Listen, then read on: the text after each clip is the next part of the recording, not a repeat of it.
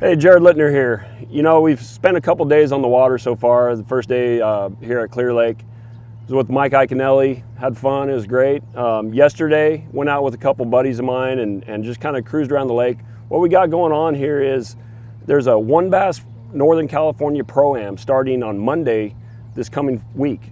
And um, I'm fishing it and then I'm heading to Wisconsin. So obviously Clear Lake's huge. Um, there's a lot of stuff I want to go look at, so we're just going to spend the next couple of days and cruise around. I got Corey with me uh, from Tackle Warehouse, and today he's allowed to make a few casts, um, try to help me out. You know, if I think of something and I'm too lazy to tie it on, I'm going to have my my partner here do it. And then uh, tomorrow it goes official practice day, so he can no longer fish. So I'm going to try to eliminate all the bad water today, and hopefully he won't catch a fish, but I, I think he will. We're on Clear Lake, so we're just going to kind of cruise around, look at different areas of the lake that we haven't been to. So this far out ahead of the tournament, you're looking more for just fish that are moving into areas, and maybe, or just kind of areas that got fresh fish coming into them, or Yeah, well, I mean, they're all gonna be gone by the time. a lot of like these fish when the water temp's warm, like it is, you know, the spawning process speeds up so much. Uh-huh. So instead of instead of being on a bed or you know for three or four or five days, they'll they could be done in 24 hours. Jeez. So yeah, I mean if you see big ones in an area and there's some beds and you know bucks up and stuff like that, uh, you know any any hour of one of those big females could just move up and start spawning. Yeah. So if you see, you know, that's why I just wanted to make a pass through there. Fish. Like if we seen like a 10 today on the bed, there's no way it's gonna be there in the tournament. So we'll catch it today. All right, we throw a frog here or a punch here? I'm gonna throw a frog. Problem is there's so, when you get into areas like this and there's so much grass, you can't just, there's one right there.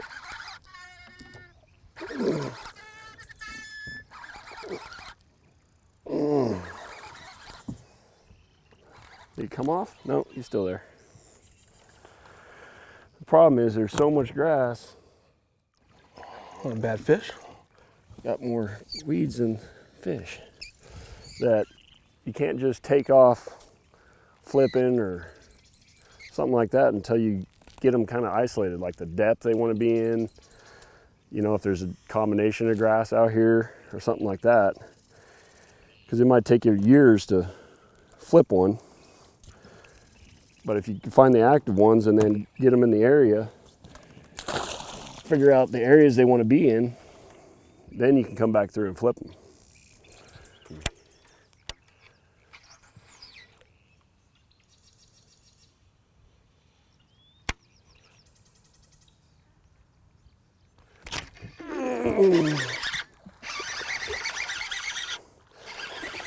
These aren't the size.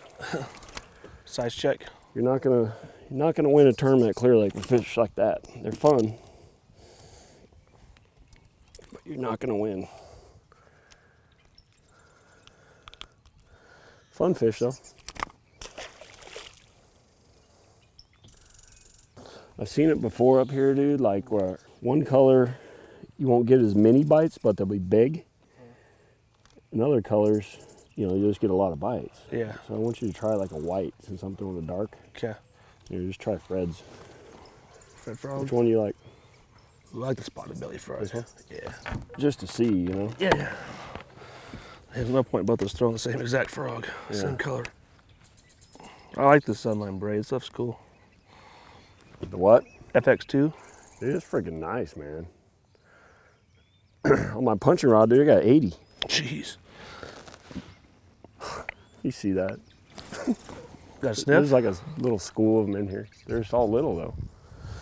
You know, another thing I like to do with these frogs is like uh, I'm throwing a, a snag-proof Ish's frog actually in these mats, and I like it because in, in that it's got a flat belly on it and it really stays up on top. And then if you look out here, I don't know if it's going to work yet, but if you look out here, there's obviously there's grass, but there's lanes also in open water. And one of the best open water frogs is right here, the Jackall Iobee. So when you get to that sparse grass deal and this thing walks, the deal with it is it's so soft that, I mean, if a fish breathes on that, you know, you really don't even have to rear back on it. But I like this one kind of in the sparse grass, and the open water, and then I like a mat frog. The reason I can't throw this, or I don't like throwing it on the mat, is just because it is so soft that it, for me, it collects a lot of, a lot of grass and stuff, and, and I get kind of frustrated. But in that sparser grass, open water situation, that's the only frog right there. So I'm gonna try it, try winging it around some of these lanes and see if we can get them to maybe some bigger ones or you know sitting out more in that open water especially it's kind of still morning you know it's only 9:30 in the day. The sun hasn't been baking on the water for a little while yet. So I'll try winging that thing around there.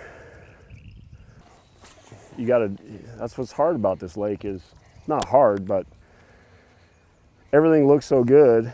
Yeah.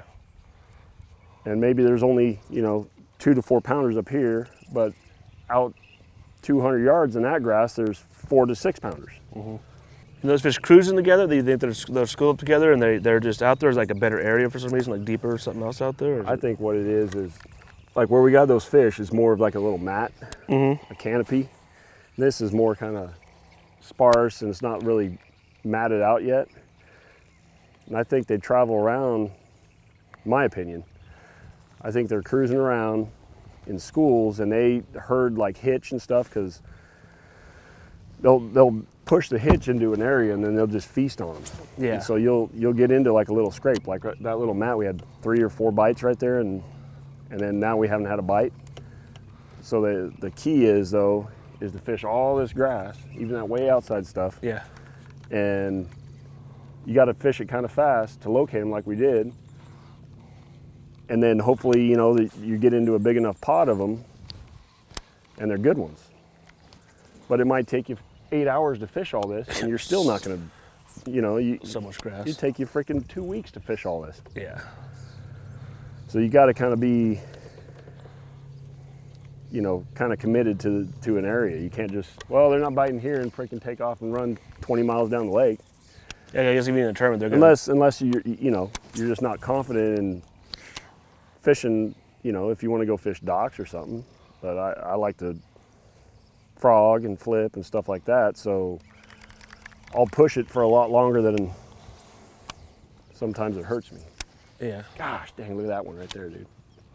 Freaking good. What's it take on? Four, five, four, four pounder. five pounder. And you think they kind of just they hit they school those hitch up and just wait for one dumb one to come out or come try try to get out and just eat their lunch or Yeah, they'll, you know, the, there's so much bait in this lake. I mean, it's not only the hitch, it's there's shad came back, and they'll just freaking, you know, everything lives in the grass. yeah. Crawdads, hitch, shad, bluegill. So they don't, you know, they got a constant food source, but the bigger pods of the big fish, they they they want those hitch, you know. So they'll funnel them. Oh, little, Giant. little, little, little, little. That's not what you want. But you're still deal. eliminating water though too at the same time, or at least areas. The wrong deal. It's dark, huh? Is it grass? Grass fish. Grass bass. If you look at this thing, this is a, a Molix frog. It's called a Supernato. A normal hollow-bodied frog is going to stay on top. Right. They've got that short lip on it. So this is actually a subsurface wake-style bait. And depending on you know how fast you fish it, you could keep it on top or get it down to a foot or two.